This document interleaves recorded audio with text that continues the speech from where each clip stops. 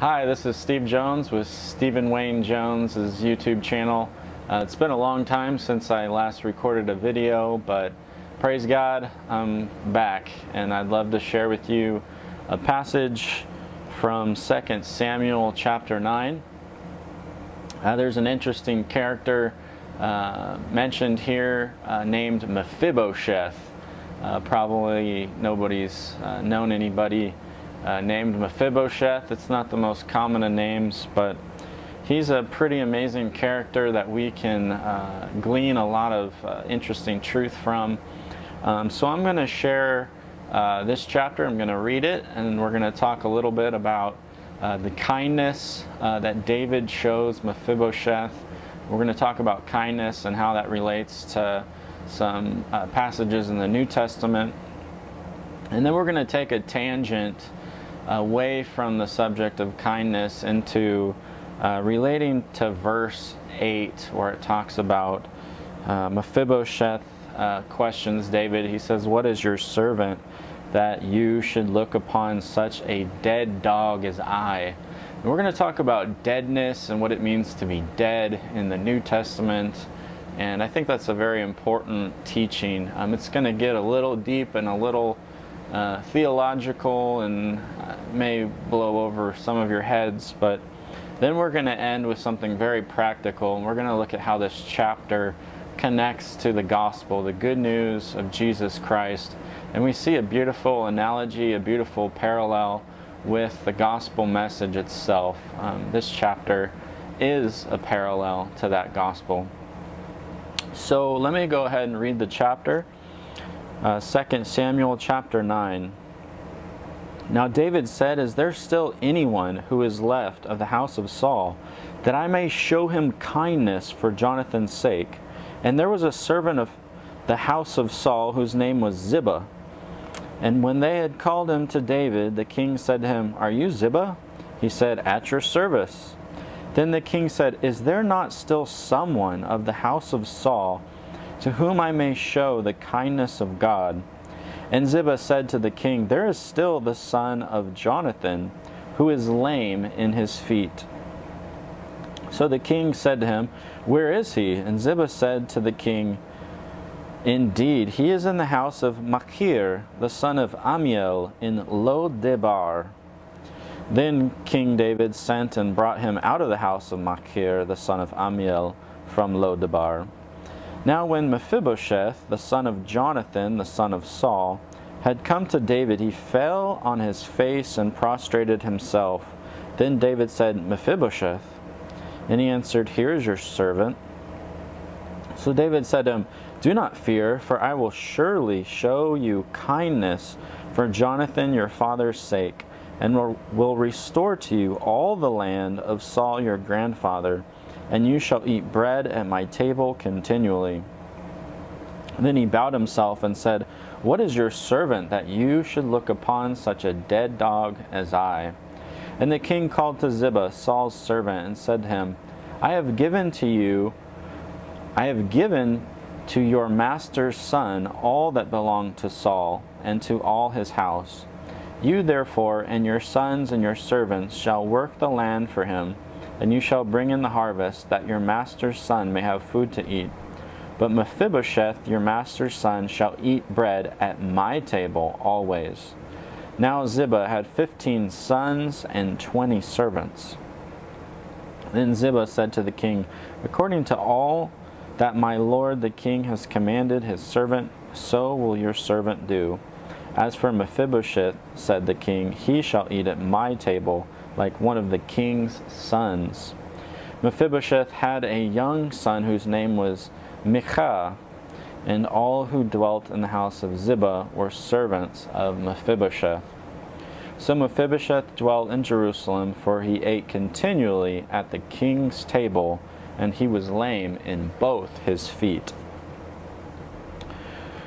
So uh, Mephibosheth, we learn a little bit more about him in a previous chapter, chapter 4 of 2 Samuel. And we learned that uh, Mephibosheth became lame because he had fallen, and both his feet became crippled. Uh, must have been quite the fall. but they were fleeing um, for their lives because many of Saul's uh, sons were uh, murdered. Um, there was kind of a fight for the power, a fight for the throne.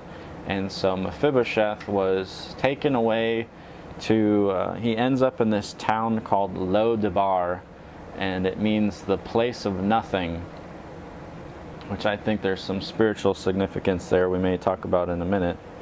Um, but here David is asking this servant Ziba, is there anybody left of Jonathan's sons that we can bless?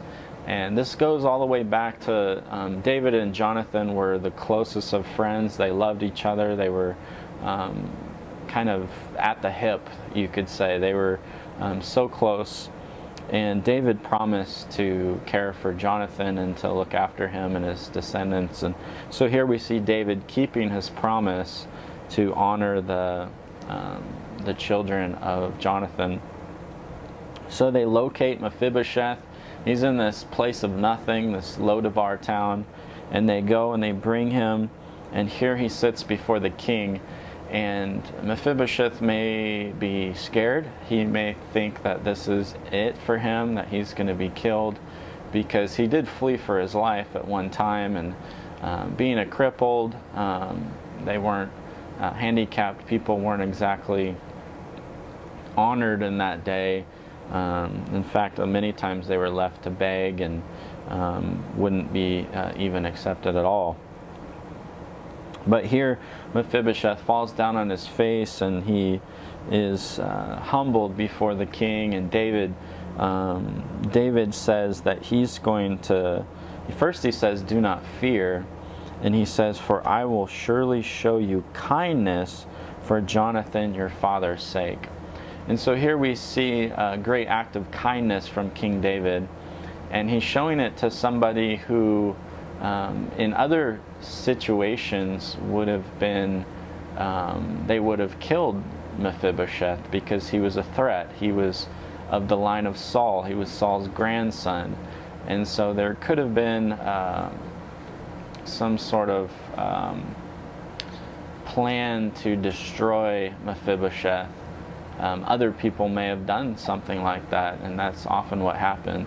But here Mephibosheth is, experiences the, the exact, exact opposite. He's shown kindness, he's shown favor, he's shown blessing. And David says that he's going to restore all of the land of Saul to Mephibosheth. And so here Mephibosheth doesn't just get a place to stay and a place to eat, but he's actually given a great and amazing, huge inheritance from King David. And so David shows him kindness. Um, I wanted to read a parallel passage here where um, Jesus um, in Luke 14 he's going to talk about uh, who should we invite to the table what type of people how does Jesus describe kindness and how we should um, invite others in? Uh, Luke 14, verse 12, he says, Then he also said to him who invited him, When you give a dinner or a supper, do not ask your friends, your brothers, your relatives, nor rich neighbors, lest they also invite you back and you be repaid. But when you give a feast, invite the poor, the maimed, the lame, the blind, and you will be blessed, because they cannot repay you, for you shall be repaid at the resurrection of the just. So Jesus is giving us uh, kind of some guidance on the type of people that we should reach out to, that we should bring into our homes, that we should throw a banquet for. And I think he's just kind of pointing out that it's common. Everybody is uh, willing to invite their friends over and their relatives and the people that are rich and that can bless them back. But Jesus is saying, do go do the opposite. Bless the people that have literally nothing to give you. They're poor, they're blind, they're lame. Um, they couldn't repay you if they tried. And so I think it also relates to the passage in James where it says, Pure and undefiled religion is this to visit orphans and widows and to um, uh, comfort them in their distress. he says that James says that's pure and that's undefiled. And it makes sense if you're reaching out to a destitute widow or to an orphan who has uh, maybe very little to repay, um, then the chances are then that's uh, pure religion because what are you going to get back out of it? Well, they may have nothing to offer you back. And so Jesus is challenging us on our kindness. Are we showing kindness to be repaid? Are we showing kindness to gain some social status? Are we showing kindness to um, grow in prominence? Well, if you're inviting the lame to your dinner table or those who are rejected by society around you, the chances are is you're not doing it to get a leg up in society. So here we see David inviting a crippled uh, young man, I don't know his age at this point, but he's inviting him to his table to be with the king, to be exalted up to the king's table. And he said, You will eat at my table for as long as you live. You'll be like one of my sons at my table. And so David shows great kindness to this crippled man.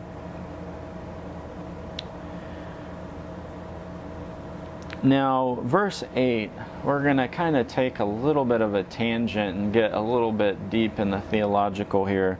He says, verse 8, What is your servant that you should look upon such a dead dog as I? And you run into theology, you run into this concept of being dead. And Mephibosheth saw himself as a dead dog. Um, you could say he was good as dead, or he was um, maybe just destined to die and couldn't make anything of himself. And because of his crippled nature and the way they dealt with cripples, he just viewed himself as dead.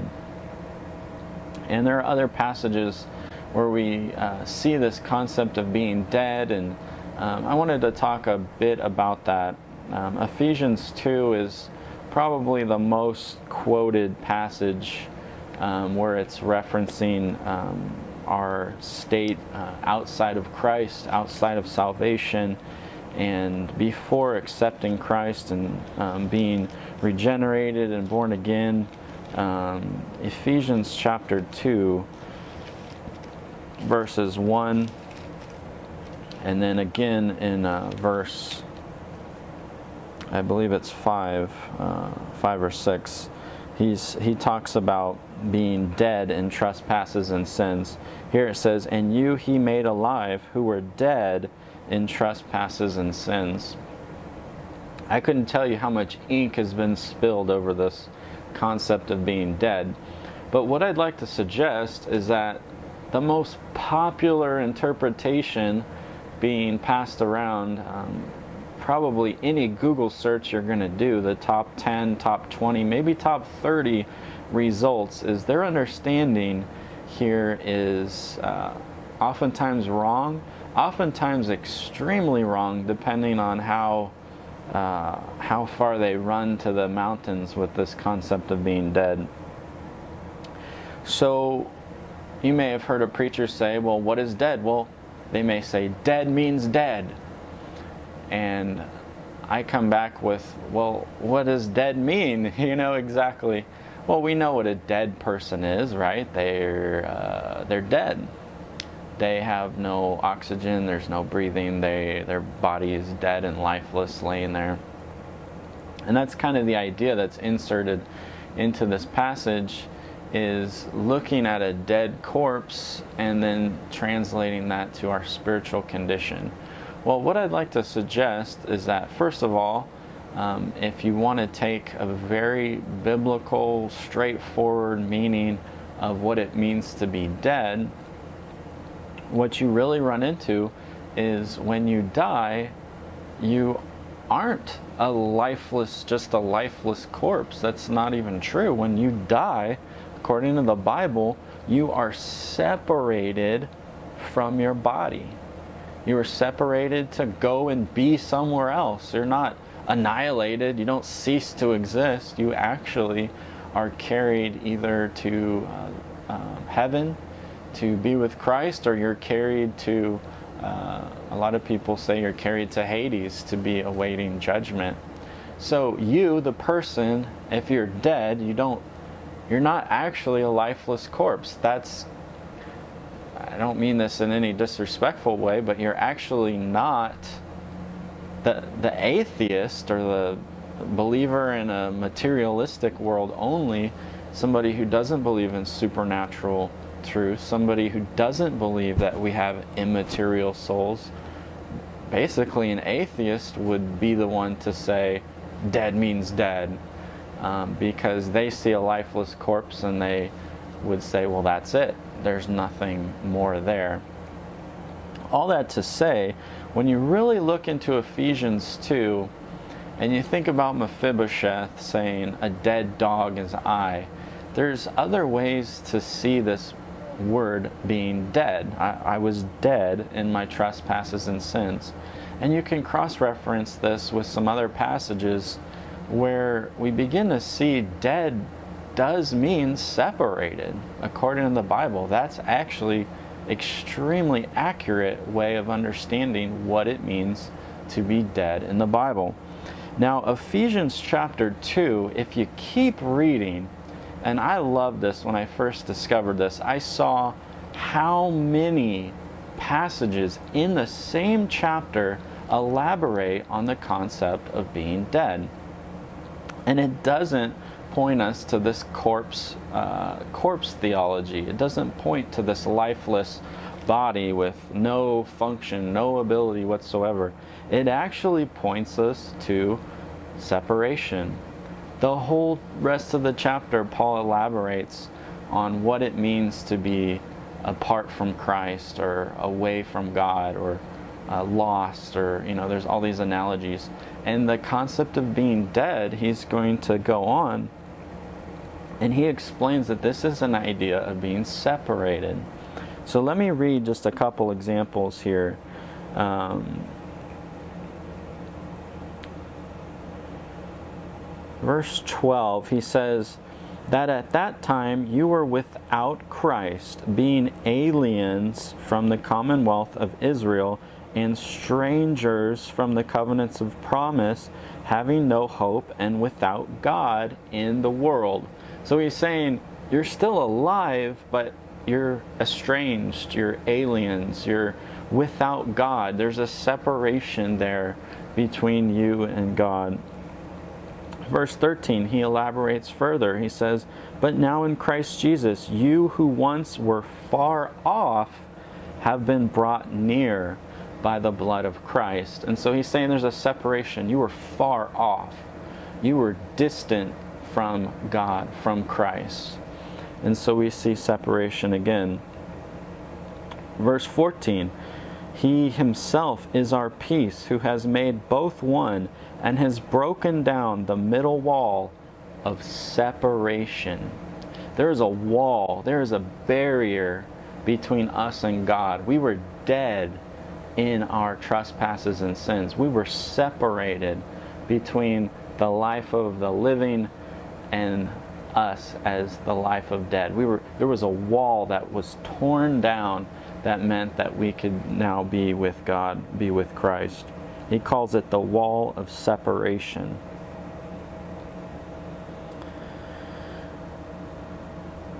Verse 17, he says, And he came and preached to you who were far off, and to those who were near. So he's talking to the Jewish people and to the Gentile people, and he's saying, The Jewish people, you were close because you had the law, you were you were there, you you were close to closer to coming to God. You Gentiles, you were far off, but you were preached, and both of you were brought to be one. So he's talking again about separation.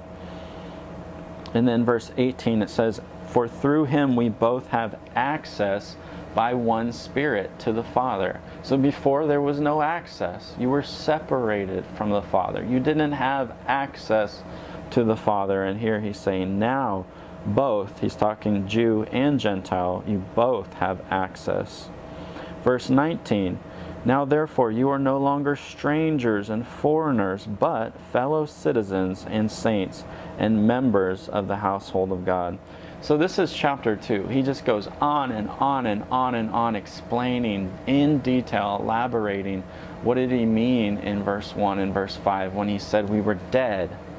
Well, he's not talking about a corpse. He's, he's not talking about this lifeless, unable, um, just basically, might as well be a rock. I mean, it might as well just be an inanimate object. That's not what he describes. That's not what the Bible describes, really, at all. Now, there is one passage where it's often cross referenced to try to prove uh, the kind of corpse like theology that's so popular today. And they'll go to John chapter 11 uh, to kind of uh, find a cross reference where this can even be supported. And what you find in John chapter 11 is you find a literal dead guy. And yes, Lazarus did not work to come alive, um, but Jesus is not drawing. This is an actual story of a dead guy who was dead for three or four days, and he literally, his body came back to life. Well, you can't insert a theology into this chapter that this isn't about. Uh, it's not explaining this is how salvation works. Um, Jesus did raise a guy from the dead, and Lazarus didn't really do much to come back to life.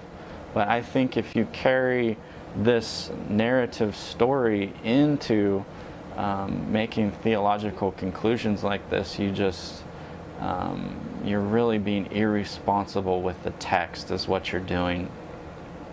Now, I think there's a better place to find a cross reference, much better place, and that's in Luke 15. Here, this is a story talking about how salvation works. This is a parable where Jesus is giving us an example of how does this salvation thing work. And what we find is the word dead is used much in the way that I'm trying to advocate for, that I think the scriptures are really communicating. And here in Luke 15, we read the parable of the lost son. And what it says is that the son was dead and now he's alive. He was lost and now he is found. Now, he wasn't dead, literally. He wasn't a corpse. He was out eating pig slop and he was alienated from his father's house. He was separated.